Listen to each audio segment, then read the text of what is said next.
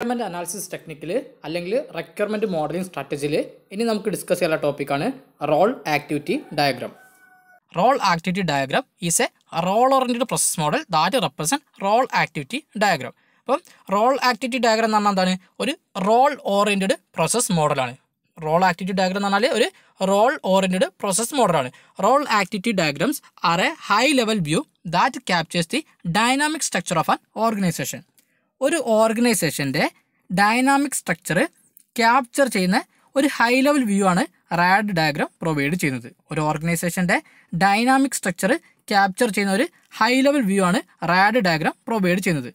Dynamic structure എന്നൊക്കെ പറഞ്ഞാൽ ഒരു ഓർഗനൈസേഷന്റെ റണ്ണിങ് ആക്ടിവിറ്റീസ് റെപ്രസെന്റ് ചെയ്യുന്ന സ്ട്രക്ചർ ഇപ്പോൾ ഡൈനാമിക് സ്ട്രക്ചർ എന്താണ്? ഒരു ഓർഗനൈസേഷന്റെ റണ്ണിങ് ആക്ടിവിറ്റീസ് ഒക്കെ റെപ്രസെന്റ് ചെയ്യുന്ന സ്ട്രക്ചറാണിത് ഡൈനാമിക് സ്ട്രക്ചർ എന്ന് പറഞ്ഞാൽ Activities are the basic part of a role. An activity may be either carried out in isolation or it may require coordination with other activities within the role. ഒരു റോളിന്റെ basic പാർട്ടാണ് activity റോളിന്റെ basic പാർട്ടാണെന്ത് activity ചിലപ്പോൾ activity ഒറ്റയ്ക്കായിട്ടോ ചിലപ്പോൾ മറ്റ് ആക്ടിവിറ്റിയുമായിട്ട് collaborate ചെയ്തിട്ടാണെന്ന് നടത്താറ്. ഇപ്പോൾ ചില ആക്ടി ചിലപ്പോൾ ആക്ടിവിറ്റി എന്താണ്? ഒറ്റയ്ക്കായിട്ടേക്കും ചിലപ്പോൾ എന്താണ്? മറ്റ് ആക്ടിവിറ്റിയുമായി കൊളാബറേറ്റ് ചെയ്തിട്ടാണ് നടത്താറ്. ഇതാണ് ഒരു റാഡ് ഡയഗ്രാം. ഈ ഒരു ഡയഗ്രാം പഠിച്ചു നോക്കുക. അടുത്താണ് Gantt chart.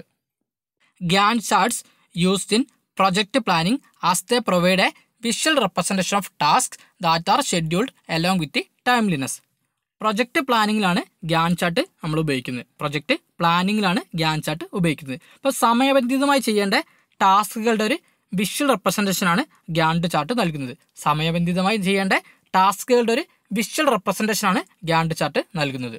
The Gantt chart helps to know what is schedule to be completed by which date ഒരു പർട്ടിക്കുലർ ഡേറ്റ് ആൻഡ് ടൈമിനുള്ളിൽ കംപ്ലീറ്റ് ചെയ്യാൻ ഷെഡ്യൂൾ ചെയ്ത ആക്ടിവിറ്റീസ് അറിയാൻ Gyan chart ഹെൽപ്ഫുള്ളാണ് the start and end dates of all task in the project can be seen in a single view അപ്പം ആ ഒരു പ്രൊജക്റ്റിൽ വരുന്ന എല്ലാ ടാസ്കുകളുടെയും സ്റ്റാർട്ട് ഡേറ്റും എൻഡ് ഡേറ്റും ഒരു സിംഗിൾ വ്യൂവിൽ നമുക്ക് ഗ്യാൻ ചാർട്ട് ഉപയോഗിച്ച് കാണാൻ കഴിയും. അപ്പോൾ ആ ഒരു പ്രൊജക്റ്റിൽ വരുന്ന എല്ലാ ടാസ്കുകളുടെയും സ്റ്റാർട്ട് ഡേറ്റും അതുപോലെ എൻഡ് ഡേറ്റും ഒരു സിംഗിൾ വ്യൂവിൽ നമുക്ക് ഗ്യാൻ ചാർട്ട് ഉപയോഗിച്ച് കാണാൻ കഴിയും.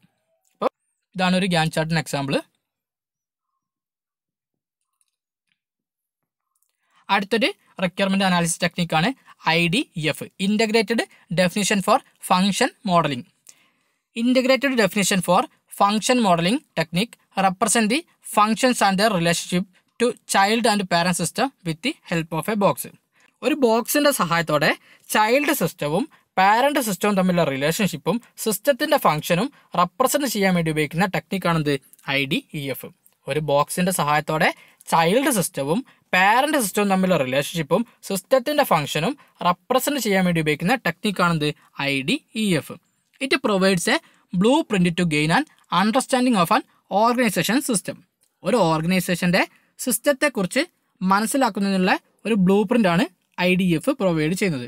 ഒരു ഓർഗനൈസേഷന്റെ സിസ്റ്റത്തെക്കുറിച്ച് മനസ്സിലാക്കുന്നതിനുള്ള ഒരു ബ്ലൂ പ്രിന്റാണ് ഐ ഡി എഫ് പ്രൊവൈഡ് ചെയ്യുന്നത്.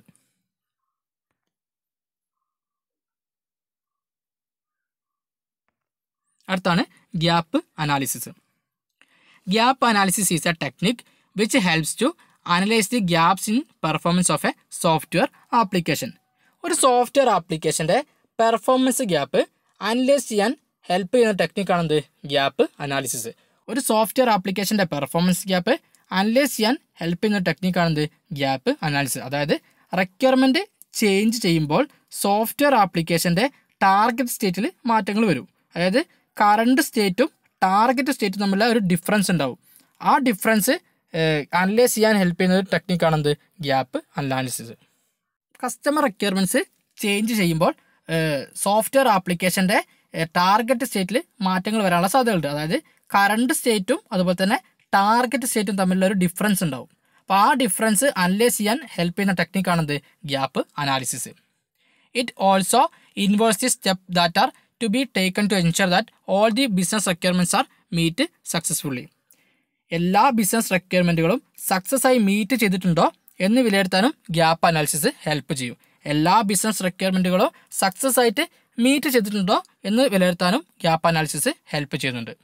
Gap denotes the difference between the present state and the target state present സ്റ്റേറ്റും target സ്റ്റേറ്റിലുള്ള ഡിഫറൻസിനാണ് ഗ്യാപ്പ് എന്ന് പറയുന്നത്. നമ്മൾ പറഞ്ഞു കഴിഞ്ഞാൽ പ്രസന്റ് സ്റ്റേറ്റും ടാർഗറ്റ് സ്റ്റേറ്റും തമ്മിലുള്ള ഡിഫറൻസാണ് എന്താ പറയുക ഗ്യാപ്പ് എന്ന് പറയുന്നത്. Gap analysis is also known as need analysis need assessment or need gap analysis അപ്പോൾ ഗ്യാപ്പ് അനാലിസിസ് അറിയപ്പെടുന്ന മറ്റു പേരുകൾ എന്തൊക്കെയാണ്? നീഡ് അനാലിസിസ് നീഡ് അസസ്മെന്റ് അല്ലെങ്കിൽ നീഡ് ഗ്യാപ്പ് അനാലിസിസ് അങ്ങനെ മൂന്ന് പേരിൽ അറിയപ്പെടും. Need analysis need assessment need gap analysis ഇതാണ് ഒരു ഗ്യാപ്പ് അനാലിസിസിന്റെ ഡയഗ്രാം അപ്പോൾ ഇവിടെ ഒരു കറണ്ട് സ്റ്റേറ്റ് ഉണ്ടാവും. ഒരു ടാർഗറ്റ് ഡിസൈഡ് സ്റ്റേറ്റ് ഉണ്ടാവും അപ്പോൾ ഇവ തമ്മിൽ ആ ഡിഫറൻസ് ഇല്ല ആ ഡിഫറൻസിൽ അനലൈസ് ചെയ്യാൻ ഹെൽപ്പ് ചെയ്യുന്ന ടെക്നിക്കാണ് എന്ത് ഗ്യാപ്പ് അനാലിസിസ്